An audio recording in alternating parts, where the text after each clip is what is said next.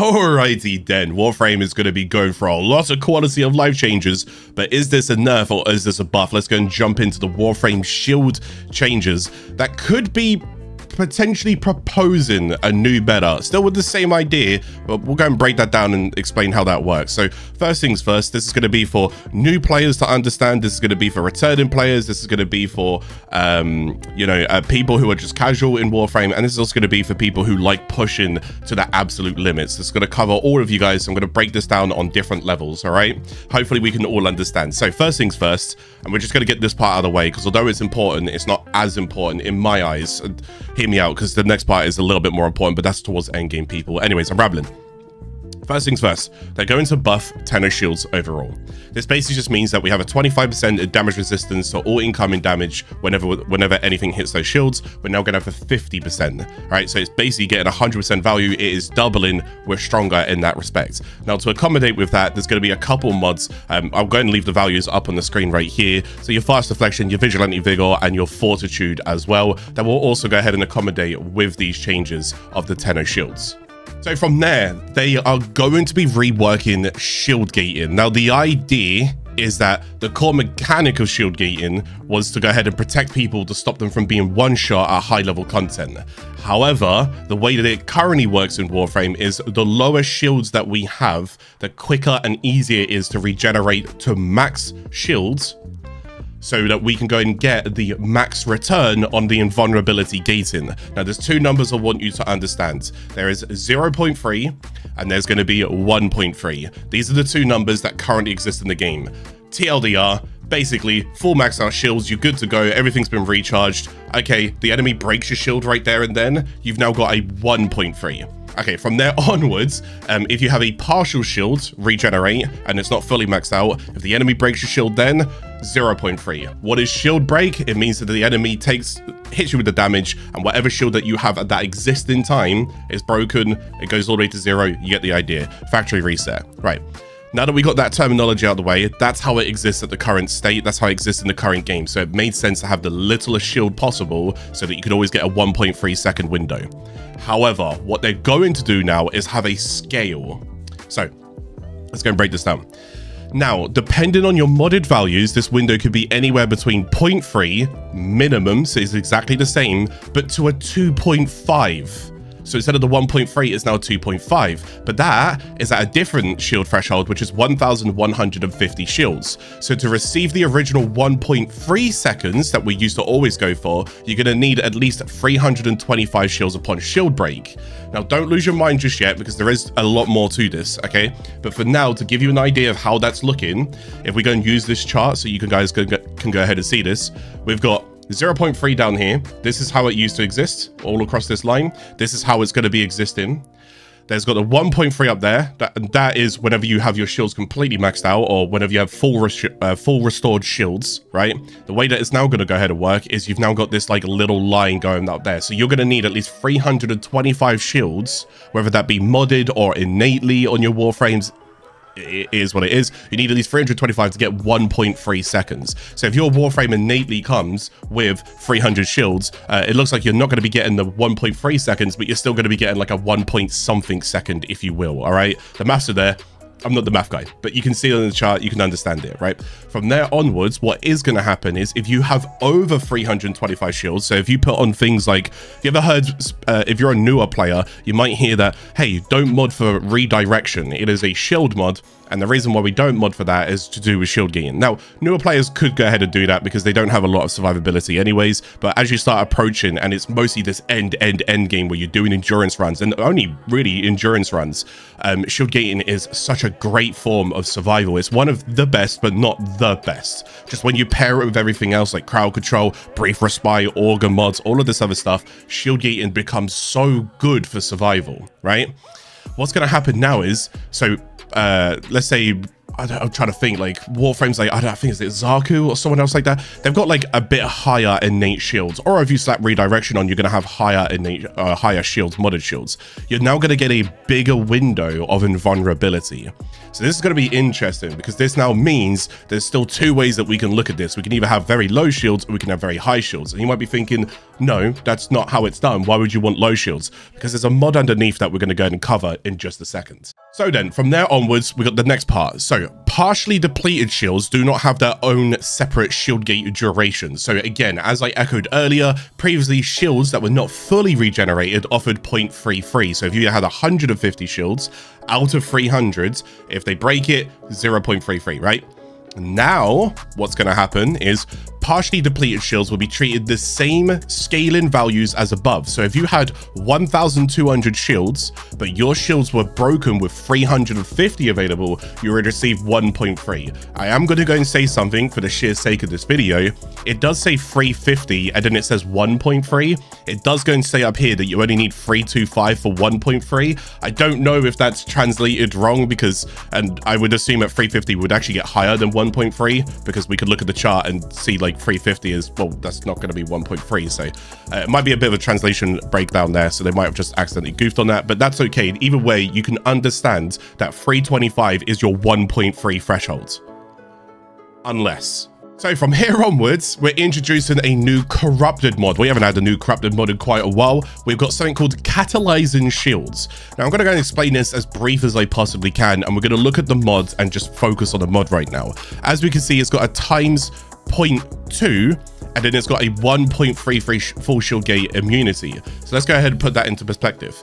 If you had hypothetically 300 shield capacity and that's all you had on your warframe, and let's say it was innate on your warframe, so it came with your warframe, you are now going to go ahead and decrease that by 80%. So it's kind of like a Decaying Dragon Key, but not, because Decaying Dragon Key is 75%, but we'll get to that in a moment you're now going to have 20% of that 300s, okay? Which I believe is around like 60 or something like that, right? Now, though, with 60, you're going to have 1.33 seconds of full shield gate. Now, if you compare the likes of this mod to the likes of this chart, if you had 60, you wouldn't have 1.33 seconds. Does that make sense? So do also keep in mind that, and there's two ways to go ahead and read this. We can understand it exactly how I've said it here, or we can also understand it that if you was to go a little bit lower with catalyzing shields equipped, if you was to go a little bit lower each and every time, you're going to get less and less and less forms of shield gain, right? This is why I'm saying the lowest number possible for us to obtain would be better because Brief Respite Augur mods, they still do the same thing. Now, Brief Respite Augur mods, what do they actually do? Uh, I'll put an image on the screen somewhere here. They basically mean whenever you go and use Warframe energy, you convert whatever energy you spend on the ability into shields. So the lower the number, the maximum number that we have, in this case we're minus an 80% from the catalyzing, then the idea is that we should be going to reach that 60 thresholds. That's just an example if 60 was where we were going with 300, right? So it's still basically the same, but we'll go down just a little bit because this this is where it's different. So what actually happened to the key and Dragon keys? Well, they're being updated to both debuff shields and shield gating. TLDR, Decaying Dragon Keys will now cap player shield gates to 0.3. Now, this is this is not what we want to do. Uh, I wasn't. I would normally, whenever it came to like shield gating, sometimes I would forget about putting on the decaying dragon key, and I was like, oh god, now I gotta leave and re-go and this and that. It's easier for me to go ahead and check my modification, so I don't really mind the mod coming in here, and I'll explain that a little bit more in a second as well. But um, with the with the change here, this basically means that you're not going to be running decaying dragon keys anymore. You don't need to be doing that because you're basically just capping yourself at a 0.3 shield gating, and that's not good even if you don't do shield gate in, in endurance running and you just play normally, it's still not good. You don't want that. All right. you don't want to you don't want to put yourself in that limit. So the only places this is really going to hurt is whenever you go and do the corrupted vaults to go ahead and get augment uh, to go and get corrupted mods and so forth. Now do keep in mind for the first week that this comes out, I think it says here, they're going to run an alert to go ahead and get this for free so that you can go ahead and get this nice and quick. From there onwards, after the first week, you're going to have to farm for the catalyzing shields. Now, if you do want me to go and do a guide on or a, breakdown on what I would do to go ahead and get corrupted mods, just let me know. I'll go ahead and do that. But anyways, that's basically what's going to be happening here. So now that we take all of this into account, what is actually happening? So if you're a new player, hopefully you can understand this. If you're a returning player and you used to play with old shields, yeah, they've changed, all right? And then if you're a veteran player going into this, what does this actually all mean as we condense all of this down right now? So the way that this is now going to work is in the old days or in today up until October, you would pay attention to 0.3, 1.3. Partial shields, fully restored shields. Okay, that's how you used to do it. Forget that for a second. It's now going to be 0.3, 1.3. There's going to be a mod to cap 1.3 as well. And then there's going to be 2.5. If you want to go one bit further, there's actually a 3.5 because Shil uh, Hildryn, I was about to go and call her. Hildryn, yeah, sure. Uh, also gets buffed here as well to a 3.5 second of shield gating. So the way that this is now going to work is whenever an enemy, without any mods, without anything, and you've got innate shields on you, let's say, and I'm going to make up a number here, let's say I have 700 shields, yeah? And the enemy whittles me down a little bit, chips at me, but doesn't quite take the shields off. So they whittle it down from 700 so let's just go and say, uh, let's go and say 410, right? So I'm saying at 410, but then the next hit that hits me completely removes all of that shield.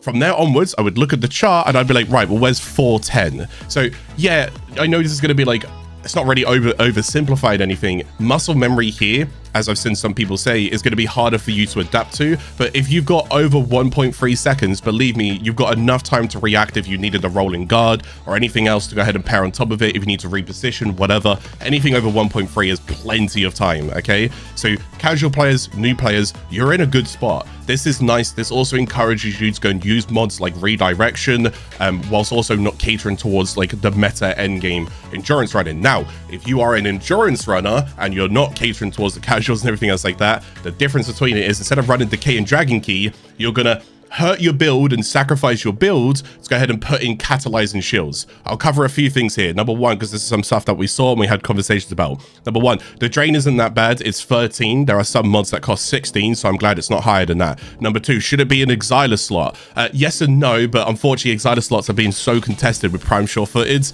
It might be a contest over Prime Sure Footed, but you get the idea. Um, number three in this one here is, and I, I stress this enough, the only time that you're really going to look to use this mods is if you are deciding to go, do you know what? I'm enjoying Steel Path right now, but I think I could do like another hour here. Yeah, yeah, I'm going to do another two hours. Right, if that's you, that's where this mod starts to come into play. That's where rolling guards and augurs and brief respite, all of that stuff starts coming into play because shield is still very preferable to players in today and soon as well. It, there's no change there because you still get the 1.33. Now, there is a little bit of whittling down here that we did have a discussion about, and I'm not 100% sure because writing can be a little bit wonky at times. But um, the question is, is let's say that I had let's say I was going against level 5000s, and for some unknown reason, for some unknown reason, uh, they only did, let's say that I had 100 shields, and they, they hit me, or something chipped me, a little bit of debris, or like a proc or something, or whatever, hit me, and I went down to like 25 shields. From there onwards, the question is, does that then actually so it's not a partial shield break because it's not a full recharge so they're changing it ever so slightly does that then actually give you this because the way that that's written says that it gives you that but we also feel like that that's not entirely true because that's not so uh, the way that they uh, the way that they wrote up here, we we had a little read on this one because they are a little bit different, and I'm gonna just go over this. Shield breaks on shields that were not fully regenerated right? But then this one says, um, if you have a max shield, but your shields were broken with only available. See, there's a difference between having 1,200 shields and having 350 and then breaking it, but it already stored to 1,200. And then there's a difference between, hey, it has been broken and now it's trying to regen. Do you see what I'm saying? The way that it's written is different. So we're not 100% sure on that one. If you are 100% sure, I'd, I'd, be surprised if you are, but if you are 100% sure, let me know. Um, but we can go ahead and test that a bit more on release. But overall, how's it looking? Are we buffed? Are we nerfed? Are we anything? No, we've mostly just changed. All right. So uh, is, is it going to go ahead and hurt our builds or anything else like that? No, it's not going to go ahead and hurt our builds as much. We are power crapped out of our little minds right now. Um, to go and put this in perspective, we've got things like Archon shards, we've got things like Arcanes, like the Arcane uh, that gives us extra strength. Uh, there's actually quite a few of them now. Um, and then the Arcane, like Arcane efficiency and stuff like that, Arcane Molt and so forth. These arcanes will go ahead and make up for any kind of diminishing returns that you go and take out of your kit and you can go and just pop it in and flex it around, right?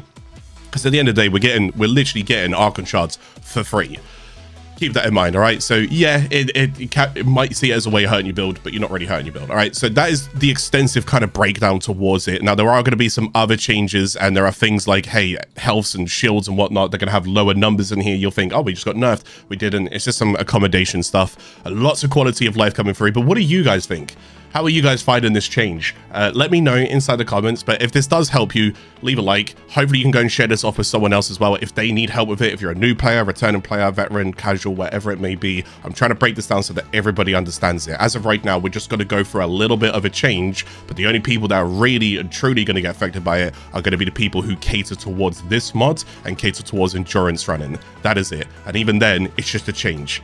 That's basically about it, all right? Anyways, thank you guys for watching. I appreciate it. I'll catch you guys again in the next video.